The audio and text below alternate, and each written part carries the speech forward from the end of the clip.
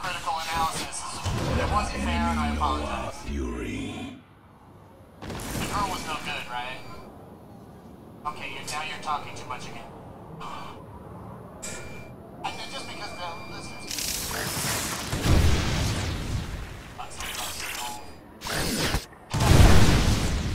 Morgan, what'd you bring for the prize bag, my friend? Um, I brought, um, I